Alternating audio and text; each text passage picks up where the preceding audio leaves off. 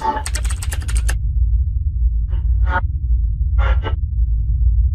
Hello guys and welcome to TechWolf. In this video I'm going to show you how you can disable Windows Defender in Windows 10 and you might need this because sometimes when you are installing some programs or software on your computer it is not allowing to do so because Windows Defender is blocking them. So to do this guys go here in the left bottom corner on your start icon and right click on it and here click on settings. Once this pop-up comes up at the very bottom you will see update and security. Click into this update and security. Here here on the left hand side you will see Windows Security. Click on this Windows Security. Here in this window click on Virus and Threat Protection. On the very first as you can see protection areas, virus and threat protection.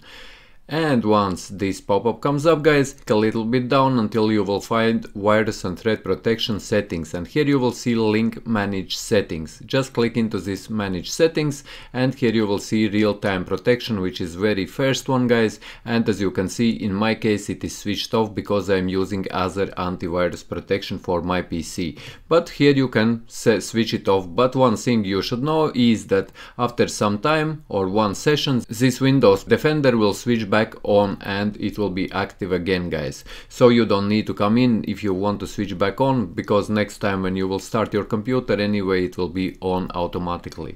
So yes guys i hope that you found this video useful. If you did leave a like share this video subscribe to my channel if you are new and see you in the next one